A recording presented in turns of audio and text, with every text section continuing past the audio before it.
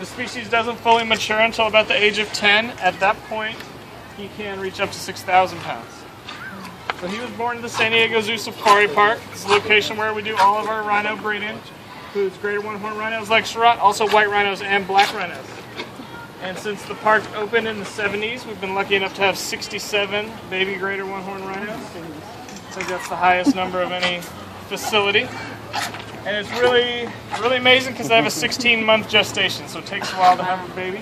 We have two little ones out there right now, total of 10 greater one-horn rhinos at the park. And they're endangered due to poaching for their horn. Some cultures believe their horn possesses medicinal value. The scientifically proven, his horn is just made out of keratin, the same stuff as your hair and fingernails. So with that theory, we can all eat our hair when we're sick and get better, but this does not occur. So if you could pass along, rhino horn is not medicine, that would be awesome. And in a moment, you're gonna get to feed Surratt and pet Surratt. We'll feed first, and then after feeding, we'll pet down by the stairs over there.